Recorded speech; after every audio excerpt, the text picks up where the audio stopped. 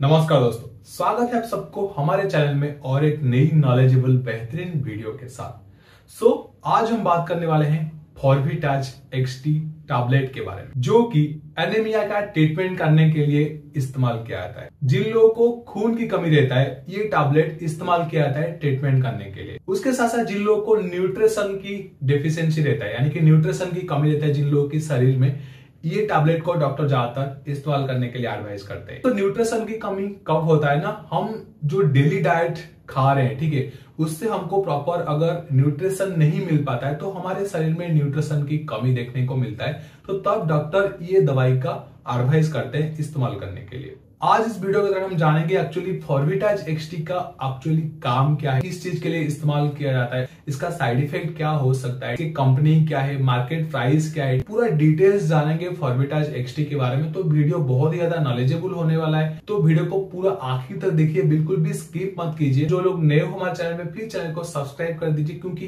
इस चैनल में हम हेल्थ रिलेटेड और मेडिसिन रिलेटेड वीडियो ज़्यादातर लाते रहते हैं। देर नहीं करते, चलते वीडियो को पूरा शुरू करते हैं।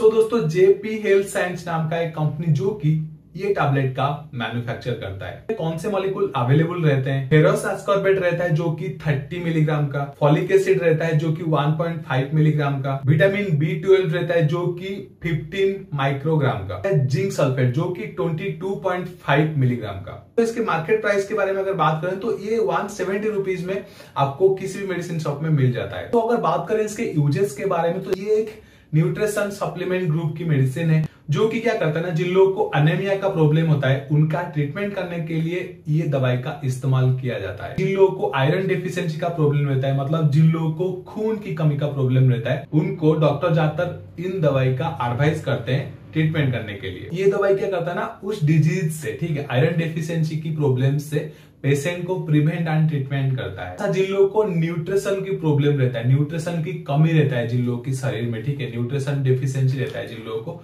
उनका भी ये दवाई ट्रीटमेंट करता है डॉक्टर ज़्यादातर एडवाइस करते रहते हैं। आजकल की सोसाइटी में लोग ज़्यादातर बिज़ी रहते हैं, काम में बिज़ी रहते हैं तो जो खाना खाना चाहिए, ठीक है, जिससे हमको न्यूट्रिशन मिलना चाहिए, वो ज़्यादातर वो खाना खा नहीं पाते हैं बाहर का खाना खाते हैं, जिससे हमको प्रॉपर न्यूट्रिशन नहीं मिल पाता है। तो न्यूट्रिशन नहीं मिलने के कारण ना हमको बहुत सारे डिज़ीज़ भी देखने को मिलता है। तो इसलिए न्यूट्रिशन डेफिशिएंसी जो पेशेंट होते हैं, उन लोगों के लिए डॉक्टर ज़्यादातर ये दवाई का इस्तेमाल करने के लिए एडवाइस करते हैं। मॉलिक्यूल है इसमें, ये एक्चुअली काम कैसे करता है? इसमें जो साइनोकोबालामिन है, ये क्या करता है ना, ये हमारे ब्रेन की फ़ंक्शन को और उसके साथ साथ जो नर्व्स होते हैं नर्व्स की फ़ंक्शन को मेंटेन रखने में, ठीक करने में मदद करता है। फेरस आस्कॉर्बेट क्या है ना, ये आयरन की पूरी सोर्स है, ठीक है? जो कि हेल्प करता है पूरी शरीर में ऑक्सीजन की परिवहन करने में मतलब कि ऑक्सीजन की ट्रांसपोर्टेशन करने में। उसके साथ साथ ये हमारे शरीर में रेड ब्लड प्रोडक्शन करने में भी मदद करता है। बात करते हैं फॉलिक एसिड फॉलिक एसिड जो कि हमारी शारीरिक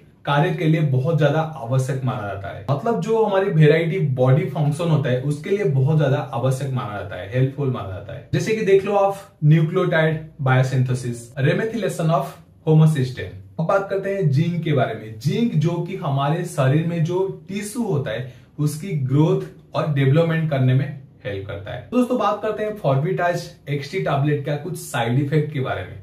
कभी कभी स्टोमक ऑफसेट होने का चांसेस रहता है कॉन्स्टिपेशन होने का भी चांसेस रहता है डायरिया होने का चांसेस रहता है नाउजिया और वोमिटिंग होने का भी चांसेस रहता है। अगर ऐसा कुछ साइड इफ़ेक्ट देखने को मिले तो आप अपने डॉक्टर को कंसल्ट ज़रूर कीजिए। कोई भी दवाई को इस्तेमाल करने से पहले आप अपनी डॉक्टर को कंसल्ट ज़रूर कीजिए, क्योंकि आपको आगे जाके कोई प्रॉब्लम ना हो। सो so, डोज जो कि डॉक्टर पेशेंट की कंडीशन देख के ही एडवाइस करते हैं जो कॉमन डोज रहता है ये ज़्यादातर वन से डे रहता है और आफ्टर डिनर ही इसको इस्तेमाल करना चाहिए। ये था कुछ छोटा सा इन्फॉर्मेशन फॉर्बिटाज एक्सटी टैबलेट के बारे में। अगर आप लोग को अच्छा लगे वीडियो तो वीडियो को एक लाइक कीजिए शेयर करिए अपने दोस्तों और अपनी फैमिली के साथ क्योंकि ये जो जानकारी है, सब लोग के पास पहुँचना बहुत ज़्यादा ज़रूरी है। अगर आप लोग को कुछ डाउट है तो हमें कमेंट करके पूछ सकते हैं। अगर आप लोग को अच्छा लगा है वीडियो तो हमें कमेंट करके बता भी सकते हैं। जो लोग नए हो हमारे चैनल पे प्लीज़ चैनल को सब्सक्राइब कर दीजिए। उसके पास जो बेल आइकन है, उसे भी प्रेस कर दीजिए। क्योंकि हमारा जो नया वीडियो अपलोड होगा, आपके पास पहले नोटिफिकेशन आ पाए मिलते हैं और एक नई वीडियो के साथ। तब तक के लिए धन्यवाद। जय हिंद।